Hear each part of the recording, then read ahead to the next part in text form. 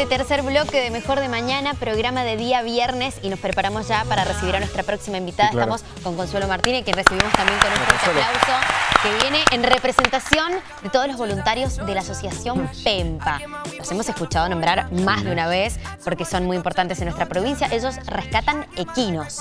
Bienvenida, Consu, ¿cómo estás? Gracias por venir. Placer enorme recibirte.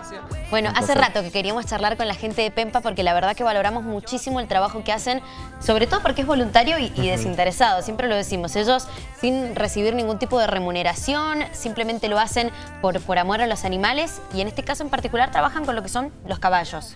Exacto, nosotros en el comienzo de Pempa eh, éramos también corral del Estado, por lo cual trabajábamos con pequeños animales también. Bien. De todo tipo de animales que ingresan en la categoría de, ganadería, digamos. Sí. Pero en el día de hoy nos dedicamos específicamente solo a equinos. Porque se han encontrado con que son animales muy vulnerables, muy maltratados. ¿De dónde surge esta necesidad? Eh, surge principalmente, en realidad la asociación surge de un rescate espontáneo, eh, rescate hace unos siete años más o menos. Sí. Eh, de un rescate de una yegua que estaba en muy malas condiciones, que estaba tirando una carretela, pero lo que nos llamó la atención principalmente fue el maltrato que estaba sufriendo este animal, con lo cual dentro de ese rescate fue como empezar a decir, bueno, a ver, ¿qué puedo hacer desde el lugar de ciudadano para hacer algo por estos animales que tienen tan vulnerados los derechos en general? Em, bueno, en ese momento fue cuando surge la asociación de forma informal, se empiezan a reunir un grupo de personas súper... Em, amantes de los animales en general. Y bueno, y ahí eh, ahora legalmente, hace unos seis años llevamos eh, el título de asociación, tenemos todo... Eh, digamos, un respaldo. Claro, tenemos todo un respaldo legal que es súper importante, así que bueno, por el, por el momento ya estamos cumpliendo siete años. Perfecto. este año vamos a cumplir siete años, perdón, de la asociación. Y bueno, principalmente nos dedicamos a eso, a la recuperación, al rescate de los equinos en situación de maltrato y eh, bueno, rescatamos de todo tipo de, Consuelo, de situaciones. Sabemos que está prohibido la atracción a sangre, pero vemos algunos casos puntuales. ¿Cómo ven ustedes esta evolución? Quizás hay menos casos, han podido rescatar muchos. ¿Cómo ha sido esta transición? Mira, en realidad te comento una corrección. No está prohibida la atracción a sangre. Eh, de hecho, hoy en día la atracción a sangre está solamente prohibida con decreto municipal mm. en Godecruz y en Capital. Son los únicos dos municipios dos que departamentos. Exacto. En la provincia no está prohibido, eh, no es algo ilegal, por lo cual nosotros no rescatamos apelando a la atracción a sangre, sino que rescatamos apelando a la ley de maltrato animal, que es la 14346. Claro. Esa ley es la que a nosotros eh, nos respalda para poder rescatar a los equinos en malas condiciones que nos encontramos. Ah.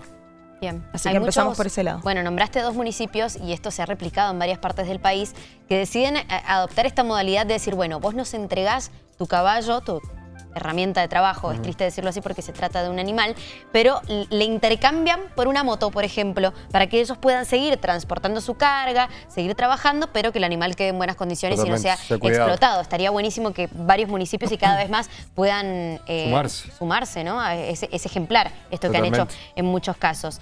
Particularmente hoy están difundiendo muy fuerte en las redes sociales, en distintos medios de comunicación, la situación de una yegua que han llamado Paloma. ¿Qué es lo que ocurre con esto?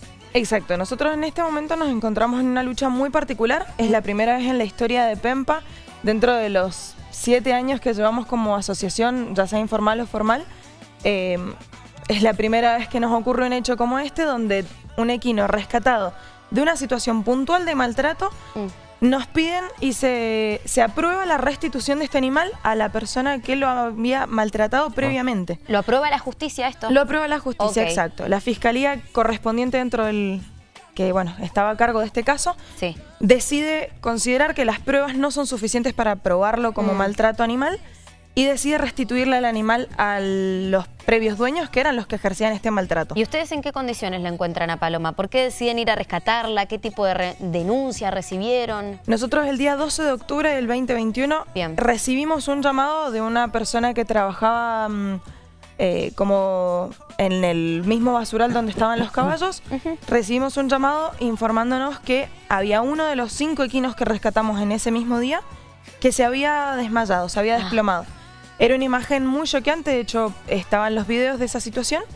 Había una imagen muy fuerte de ver un caballo que encima ni siquiera tenía tamaño de adulto, ya que era un potro, tenía tres años. Se desploma por la deshidratación, por el calor, por el bajo peso, por todo. por toda esta situación, por supuesto, eh, los chicos nos llaman súper preocupados porque era una persona que conocía la asociación, se comunica con un voluntario y empezamos el protocolo que tenemos de rescate. Bien. Luego de ese momento, nosotros, ahí que en imágenes justamente se ve la situación que, que esta persona le preocupa tanto. Terrible. Nosotros acudimos a ese lugar donde nos encontramos con cinco equinos en terribles condiciones, tanto corporales como de salud. Eh, y por supuesto todos atados a la carretela. Al caballo que se desploma en ningún momento se le retiran los artefactos de la carretela, ni siquiera acuden a, socorrerlo. Exacto. Y bueno, y en el predio tampoco se les permitía darles alimento, darles agua, incluso bueno, bastante cruel la situación. Sí. Nosotros acudimos, después de un montón de trámites de papeles, logramos que los caballos salgan de ahí por lo menos, esperan unos días en el corral del Estado y luego nos los depositan a nosotros, que en realidad la figura legal se llama depositario judicial, mm. con lo cual nosotros igual nos preferimos dirigirnos a esto como cuidadores, ya que en realidad nosotros somos los cuidadores los que los protegemos y los que velamos por su salud y por su estado por la mejoría de su estado en realidad. Y entonces después, ¿qué pasa? Aparece el, dueño, quien tenía estos animales, y dice, los quiero de vuelta. Exacto, nosotros no estábamos informados de la situación en la que la fiscal que toma el caso, cuando recibe todas las pruebas, informe veterinario, fotos, todo lo que nosotros adjuntamos, Em, no lo considera suficiente para catalogarlo como maltrato. ¿Qué más necesitará la fiscal? Digo, porque eran elocuentes las imágenes, ¿no? Por de lastimaduras que tienen en el cuerpo, mira, de las condiciones eh, a, la carretela atado todo el día, ni siquiera con un ratito para, para moverse en libertad. Nosotros lo que hemos mostrado ahí es solamente las imágenes de Paloma, porque imágenes fuertes teníamos de los cinco caballos. Mm. Venían los cinco en estados muy complicados. Esa solamente es Paloma, para que se den una idea. Eh, ella llegó muy baja de peso corporal. Los veterinarios tienen una puntuación en la cual 9 es el puntaje más alto, la mejor condición física. Eh, y 0 es la peor. Estos caballos estaban en condición 4 aproximadamente. Muy bajo. Muy, un número muy bajo realmente.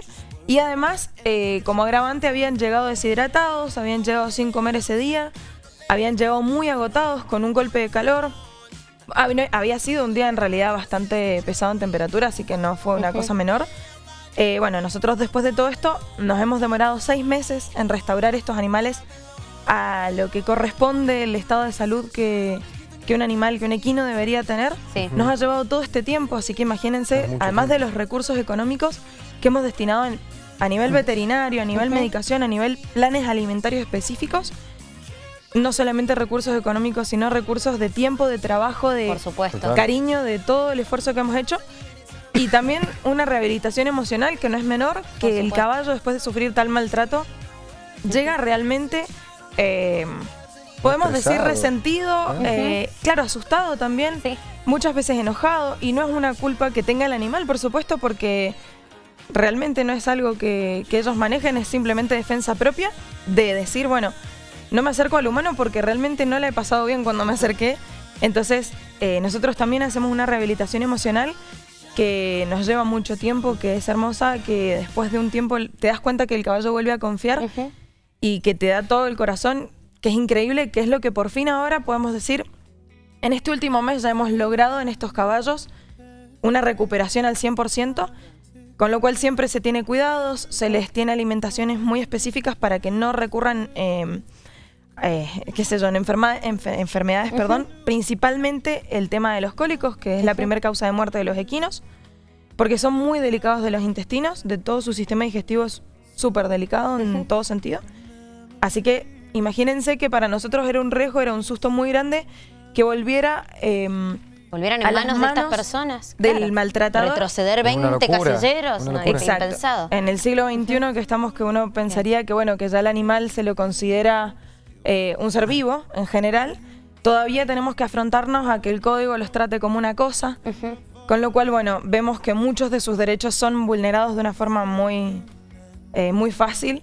Así que, bueno, nuestro miedo es ese. Hoy la lucha es eh, tratar de que estos animales no vuelvan a las manos de las personas que incurrieron en este maltrato, que no están imputadas hoy día porque al no categorizarlo como maltrato animal, ni siquiera no se puede generar una imputación, por eso se ha pedido la restitución del, del equino para ellos. Entonces, realmente nuestra preocupación hoy es que la yegua siga con nosotros, que podamos mantener la calidad de vida que tiene hoy, que no la ha tenido probablemente jamás, y que en su estado corporal, por devolvérsela a otras personas, no se vea afectado, que no vea de vuelta eh, un sufrimiento innecesario que, que va a padecer por volver a estas manos. Ojalá la, justicia los escuche. Quería saber, recién contabas el proceso de recuperación que dura seis meses o mucho más, depende de cada animal, pero el proceso de rescate, toda la parte legal y demás, ¿también es muy engorrosa o lo pueden rescatar rápidamente? ¿Cómo es ese proceso, ese tiempo? Mira, es muy difícil contabilizarlo como hacerte un promedio general porque tiene mucho que ver con cada caso. En este caso específico, al tener tantas trabas, al no haber sido imputadas estas, estos dueños de estos animales, eh, nosotros se nos ha alargado muchísimo el proceso judicial. De hecho, hoy en día estamos con este proceso, estamos con la causa abierta. Hay otras veces que el caso es súper sencillo, que el maltrato es muy evidente y que los fiscales actúan muy rápido y que el caballo capaz que en cuestión de días o semanas ya pasa la titularidad completa de PEMPA para que nosotros nos encarguemos de su rehabilitación, de su rescate, de, eh, la recuperación física y de salud. Entonces tiene tiempos muy eh, aleatorios, digamos, varían muchísimo, depende del caso. Pero sí puede ser desde unos pocos días que tengamos suerte en un rescate rápido hasta meses como en este caso, por ejemplo. Bueno, ojalá la justicia los escuche, les preste atención, vuelva a ver estas pruebas tan contundentes que tienen los chicos para que Paloma no vuelva eh, a las manos de, sus maltratadores. Consu, gracias. Eh, beso grande a toda la gente de Pempa, felicitarlos por el trabajo que hacen porque la verdad que es ejemplar. Ejemplar. Ejemplar y súper necesario. Así que el aplauso. Muchas gracias, chicos.